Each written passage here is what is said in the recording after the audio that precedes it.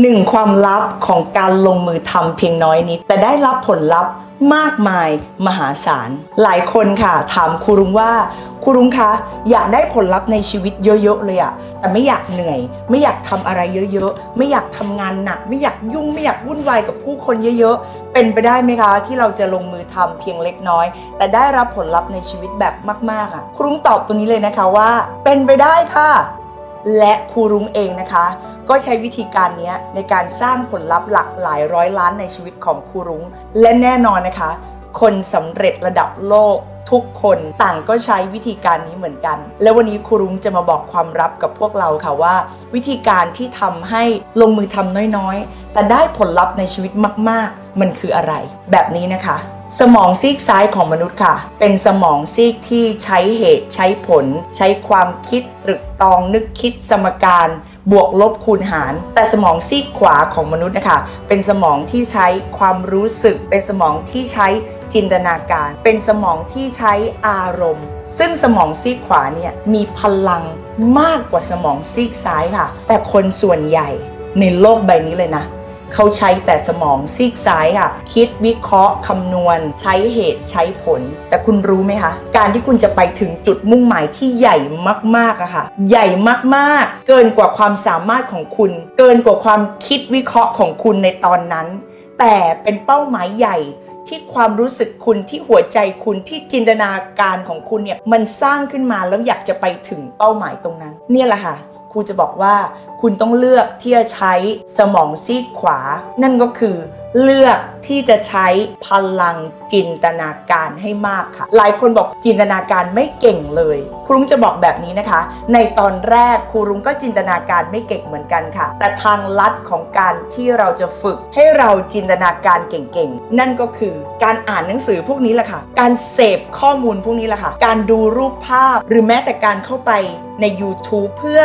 ฟังเสียงคนสำเร็จนะคะเอาตาไปดูวิธีการดูท่าทางของคนสำเร็จ หรือแม้กระทั่งเสพข้อมูลความสำเร็จ เสพข้อมูลความมั่งคั่งร่ำรวยของคนระดับโลกนะคะข้อมูลเหล่านี้ที่ผ่านเข้ามาในสมองของเรา มันจะถูกเก็บบันทึกเอาไว้ค่ะ และแบบนี้นะคะ เวลาที่คุณตั้งเป้าหมายว่า คุณปรารถนาจะมีเงิน 100 ล้าน อยากจะสร้างธุรกิจ แล้วสร้างธุรกิจเป็นหลักพันล้าน มันเป็นเรื่องที่ง่ายมากๆ ถ้าสมองคุณนะคะได้เก็บข้อมูลที่เกี่ยวข้องกับความเป็นไปได้ หมายถึงว่าคุณมีหลักฐานของความเป็นไปได้ คุณมีหลักฐานของความสำเร็จมากมาย เมมโมรีหรือเก็บสะสมเอาไว้ในสมองของคุณเรียบร้อยแล้ว เวลาที่คุณจินตนาการถึงเป้าหมายใหญ่ ๆ นะคะ สมองของคุณนะคะเขาจะทำงานแบบที่ว่าเข้าไป searching เข้าไปค้นหาข้อมูลนะคะว่ามันมีหลักฐานหรือมีข้อมูล ที่มันจะสร้างความเป็นไปได้กับความคิดนี้ไหม ดังนั้นค่ะถ้าคุณไม่เคยเสพข้อมูลความสำเร็จ ไม่เคยเสพข้อมูลคนสำเร็จ หรือไม่เคยเสพข้อมูลความเป็นไปได้ชิ้นใหญ่ ๆ ไม่มีหลักฐานชิ้นสำคัญนะคะสมองของคุณเข้าไปเซิร์ชแล้วหาข้อมูลไม่เจอ สมองจะประมวลผลว่าเป็นไปไม่ได้ ยากไม่น่าจะเกิดขึ้นได้ get ที่ครูรุ้งพูดไหมคะ เพราะฉะนั้นสิ่งที่จะทำให้คุณเนี่ย สร้างผลลัพธ์ในชีวิตได้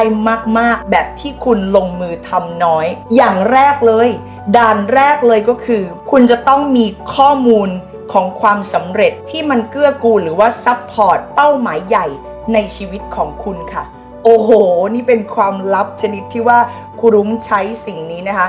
สร้างหลายร้อยล้านในชีวิตของครูรุ้งมาแล้ว และวันนี้เอาความลับมูลค่ามหาศาลมาบอกพวกเราทุกคน ถ้าใครฟังคลิปนี้ไม่ทันนะคะ ย้อนกรอกลับไปฟังตั้งแต่ต้นอีกครั้งค่ะ เพื่อที่คุณนะคะจะได้เข้าใจถึงเคล็ดลับนี้ เพราะมันสำคัญจริง ๆค่ะ แล้ววันนี้นะสิ่งที่ครูรุ้งจะให้พวกเราทุกคนเนี่ยกลับไปทำเลยเป็นการบ้านก็คือ เลือกที่จะเสพข้อมูลคนสำเร็จ เลือกที่จะเสพข้อมูลความสำเร็จ ที่คุณเสพแล้ว รู้สึกว่าโอ้โหเขาเก่งจัง รู้สึกว่าโอ้โห มันสุดยอด รู้สึกว่านี่มันเป็นไปได้จริงๆเหรอเนี่ย นั่นแสดงว่าสมองของคุณเขากำลังขยายฐานข้อมูลค่ะ อะไรที่สมองไม่เคยรับรู้มาก่อน มันจะส่งผลออกมาว่าเป็นไปไม่ได้ทำไม่ได้ยากเกินไป แต่ถ้าอะไรก็ตามค่ะ ที่สมองมีข้อมูลเหล่านั้นมาก่อน และมันเป็นหลักฐานที่มากพอต่อให้วันนี้ คุณยังรู้สึกว่ามันไม่น่าจะเป็นไปได้ฉันฝันใหญ่เกินไปหรือเปล่า แต่ในท้ายที่สุดแล้วค่ะ สมองคุณจะไม่ต่อต้านความฝันใหญ่ของคุณ และสมองของคุณค่ะ จะประมวลผลว่า อืมเป็นไปได้ มันมีข้อมูลความสำเร็จ ข้อมูลความมั่งคั่งร่ำรวยชุดนี้อยู่แล้วค่ะ เพราะฉะนั้นนี่คือ ความลับของความลับนะคะ ตั้งใจพวกเราทุกคนนะคะ เอาไปใช้เพื่อให้ได้ผลจริง ๆ แล้วเป็นยังไงนะคะอินบ็อกมาเล่าให้ครูฟังบ้าง ด้วยรักและปรารถนาดีนะคะ สวัสดีค่ะ